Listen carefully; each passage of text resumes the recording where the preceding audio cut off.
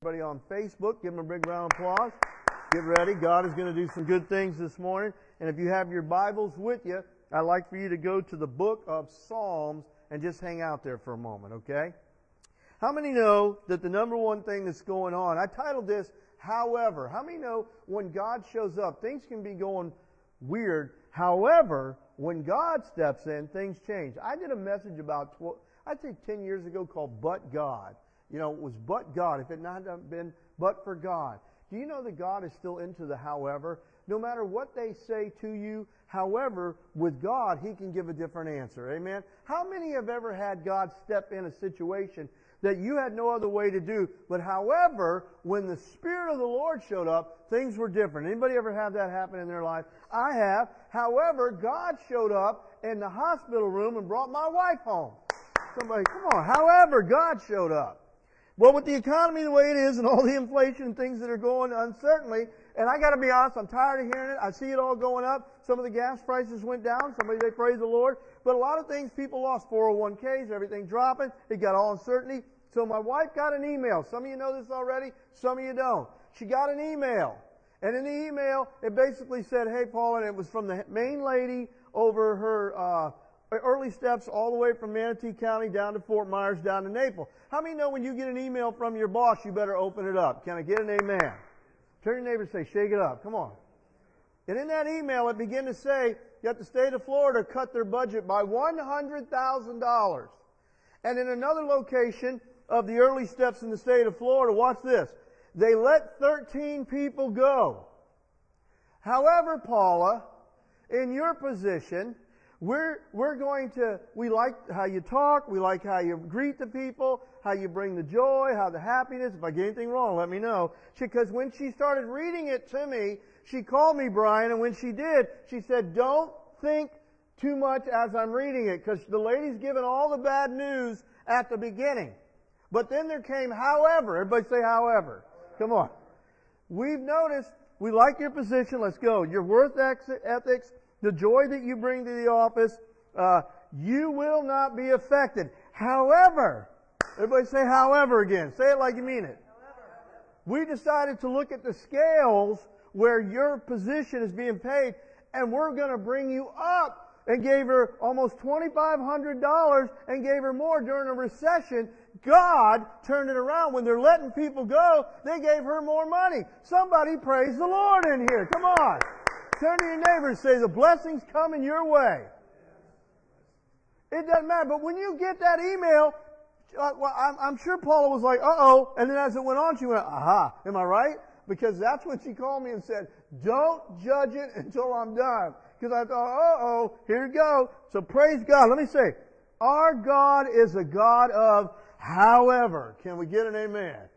Say it like you mean it. Say, however. however. Whew. So, you can know when things go wrong. However, there's somebody in heaven. You're his child. You're the son and daughter of the King of Kings and the Lord of Lords. The one who created the universe, who will never abandon you. He knows what's going on. Tough times come. The boat might rock in the storm, but however, Jesus is in the bow, sleeping. Help me out. And he got up and said, Hey, how long am I going to have to put up with you guys? Peace, be still. He's a God of power. Go to Psalms chapter 3, verse 1 through 8. You're going to love this on Facebook. Lord, how they have increased who trouble me. have you ever had it seem like nothing went right? Now this happened. This guy's upset at me. Oh, this fell through. Sometimes all of a sudden, what else can go wrong? He said, How they've increased that trouble me. Many are those who rise up against me. So David's in a bad shape right now. Many are they that say of me, there is no help of him from God. How many people, God's not going to help him? There is no God. It's not going to happen. God's not going to help him. He's going to have to go in there. Y'all, you know what? Here, what ifs? I get tired of the what ifs. Anybody else get tired of what ifs? But here he goes on to say, verse 3, But you, O Lord, are a shield for me, my glory, and the one who lifts up my head. Come on. I cried unto the Lord with my voice, and he heard me from his holy hill. I lay down and slept.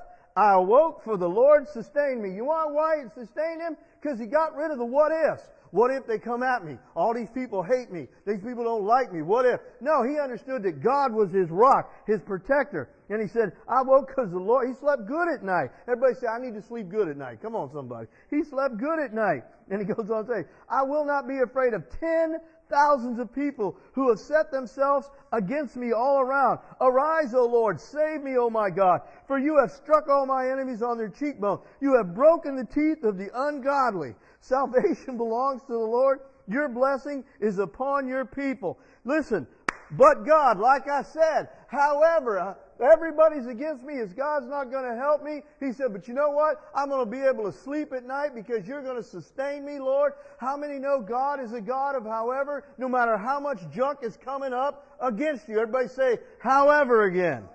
Well, I come to share today because it's true. All of us have had those, but what if? But what if? Pastor Ken Hughes told me one time, he when he had a church, he had one board member that every time they all were ready to do something, he always did, but what if, what if this? What if that? What if that?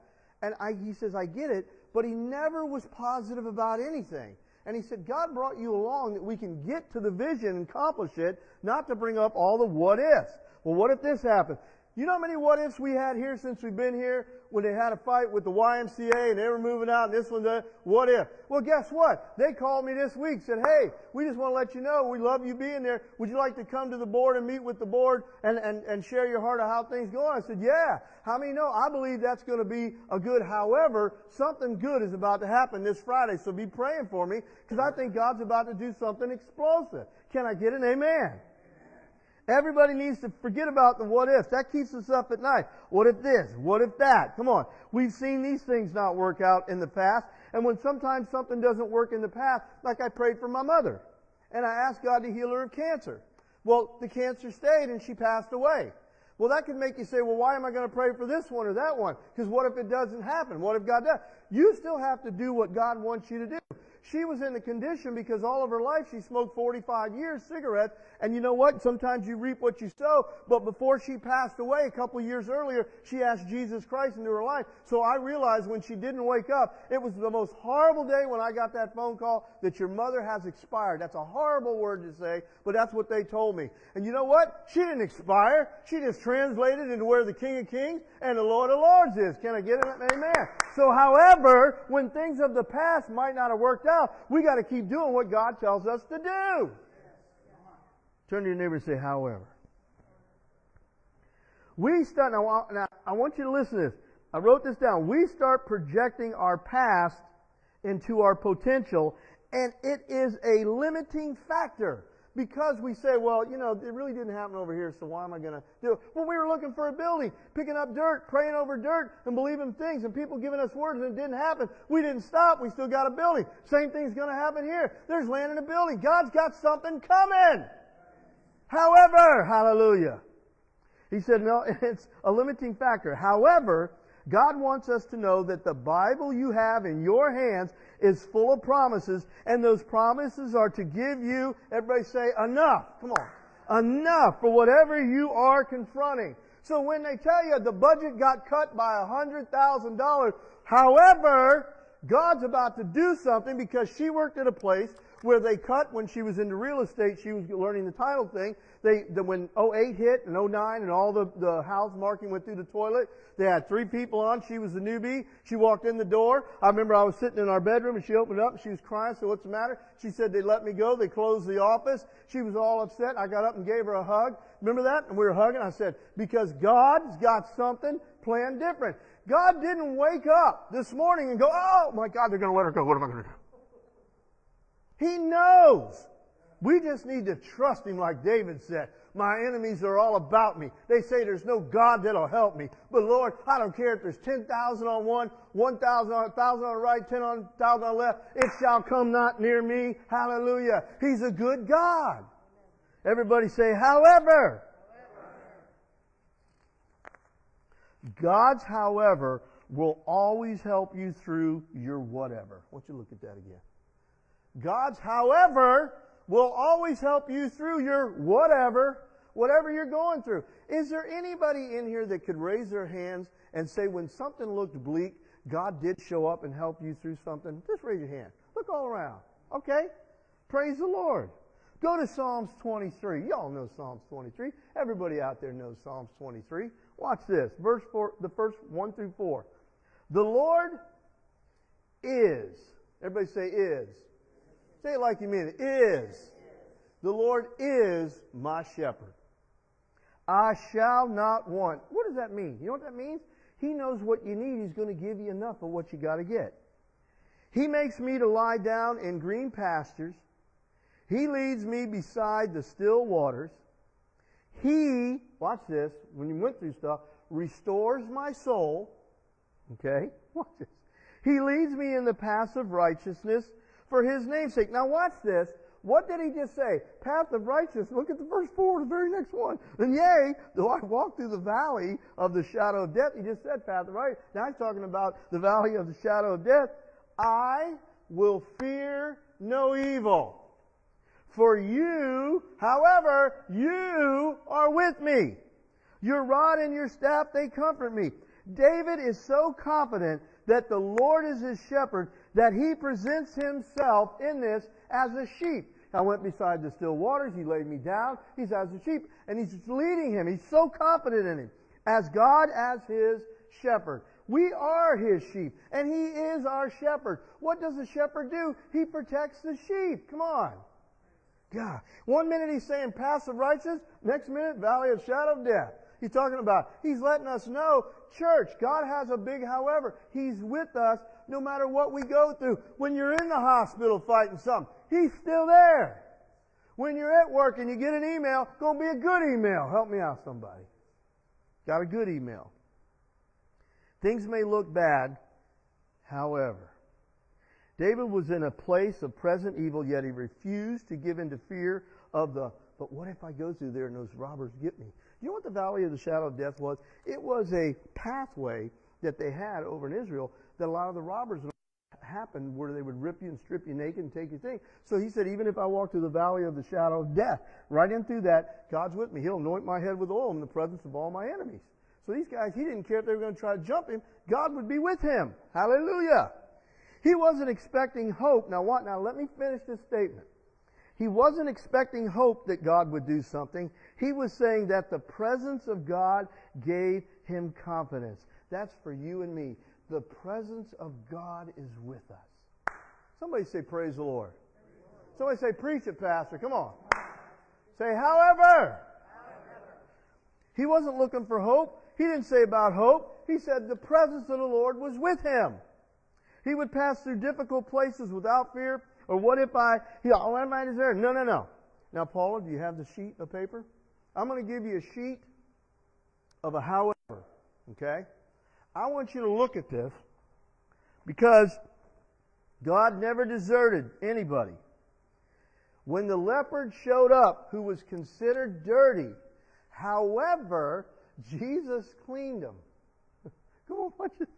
When the storm rocked the boat, however, the presence of Christ was in that boat, and he said, Hey, peace be still. Come on, somebody. So we're passing out these sheets, and I want you just to look at them. These are in chronological order. Got them out of one of my books. We recopied them all for you, so you can see of all the what if, from sickness to storms to water to wine to moving things out of the way. God, listen, if this doesn't build your faith, I don't know what will, because you can look at it and say, listen, Jesus healed the sick in, in Garcia with the touch of his hand. He healed the Gentile woman who was demon possessed and her daughter. He did all these things when he showed up. And these are just a few that we have recorded and they're in chronological order of when he did them and there's the biblical reference. You know, when you read them, you don't realize that's a lot right there. Take a look at it. That's a lot. So if you need a healing, He can do it. If you need financial breakthrough, He can do it. What did He tell the disciples? He said, you know what? Go look at that fish and open a fish's mouth and you'll get that, you'll get the, the, the, the tax thing that, that you'll need. Okay. And what did he do? And it came out. What, what about, you, you know, to me, to me guys, and everybody watching, one of the greatest miracles of all was when there were 20, there were 5,000 men and there were the wives and the children. So they estimate it was about 20,000 people on the side of the cliff, and the disciples freaked out because they said, It's getting evening, so they're going to be getting hungry, and we don't have anything. Let's send them all home. It's time to break so they can take care of themselves. And he said, No, wait a minute. He said, We can feed them. No, we can't. Who's got some food? And it was, the Bible says, a little lad said, My mommy gave me five loaves of bread and two fish. Okay, so can you imagine? I just, I, I, I could preach on this story. I, I bet I could preach six months on it. I, I do. Because it, it adds, there's so many more things in there that you see. But you think about the faith of that little boy. He didn't know any better. He just knew that Jesus said, anybody got any food here I can use? Yeah, I got five loaves and two fish. Remember, 20,000 people. And he turns to the disciples and says, okay, here's what we're going to do. You're going to break these up in 12 baskets. You're going to pass them out, put them in groups of 150. You're going to pass them. See, I still like to think how they thought, Brian. Those guys had to be saying, is he out of his mind? This is all we got. He said, oh. And then what did Jesus say to the little guy? It's enough. So whatever you got, we're going to do it. So however, go ahead. And those disciples had to freak out when they started passing because they obviously thought a group this size, that's it, about 20 people, it's all going to be gone. And the buckets just kept being passed up the mountain. And everybody's eating until they were full. Then he brought them back, and there's more. Now you guys eat. That's the Jesus that we serve that watches over us. Come on, man. So anything you're going through, he's got five loaves and two fish to do the however anytime you think. I tell you, he's a good God, amen? Go to Psalm 34. I want you to keep that sheet. And I want you to think from time to time, if you get a little bit time today, you know, maybe you go and lay down, take a nap, so just look at a few of them. And you know, post that somewhere when you're going through everything that seems nothing's working, nothing's happening, nothing. Go to that and look at it and say, no, wait a minute. if he can do all this, there's nothing that he can't do in my, in my life. I will bless the Lord at all times, verse 1. His praise shall continually be in my mouth. My soul, my soul shall make boast in the Lord. The humble will hear it and they'll be glad. Oh, magnify the Lord with me. Let us exalt his name together. Verse 4. I sought the Lord and he heard me. Oh, what did he do? Watch this. And he delivered me from all my fears.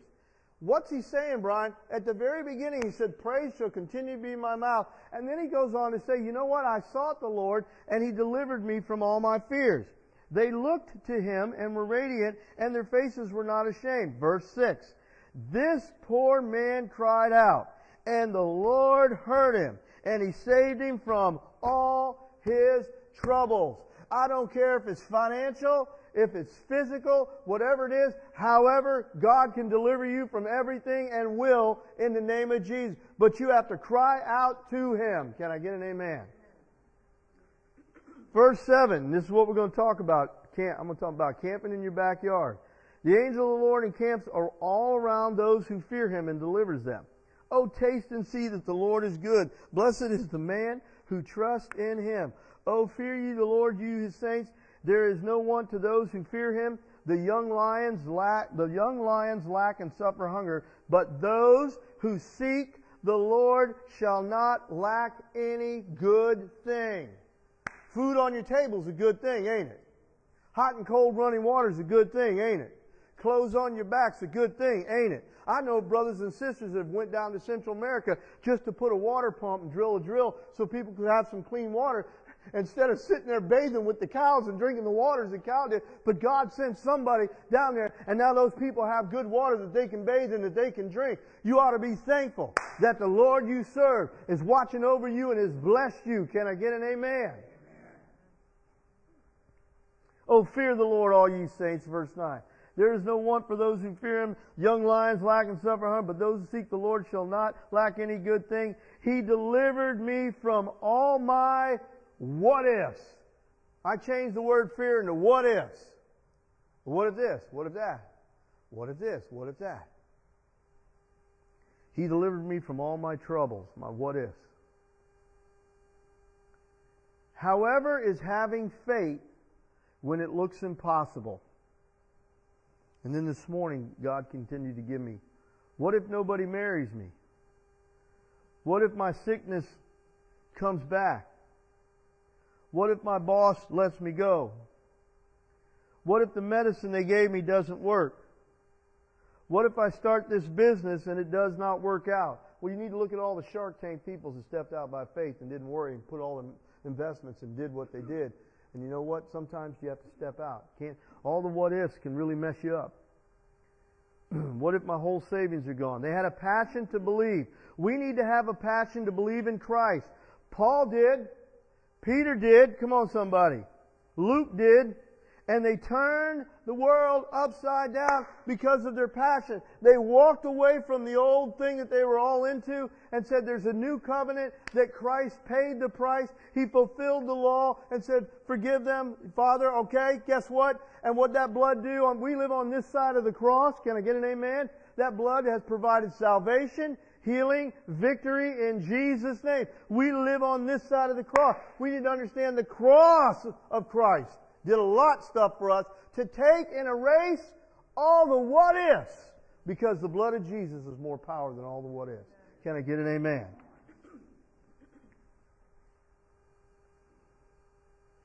Because you believe and trust in Christ and his finished work at the cross, all your what ifs need to be impaled and go down. And change your mind thinking. Renew your mind. Start saying, okay, Lord, what if? For those that are watching out there, I pray that God changes your what ifs to howevers. Come on, buddy.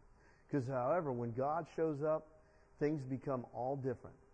You might not like who you are. God loves you just the way you are. And God can change you. Put your trust in the Lord. If you've never asked Christ and say, God, forgive me of all my sins. Jesus, come into my life. I believe you died on the cross and rose again three days later. Thank you, Father God, for saving me. If you believe that and you trust Him and turn your passion to the things of Christ, your life will change. Are there some do's and don'ts in the kingdom? Yeah. God's got some commandments in there. But when you follow them, God has the blessings. But don't let the what ifs stop you. Stop you from coming to Christ because God loves you very much. Till next week, may the Lord bless you. See you at 10:30 next Sunday. God bless.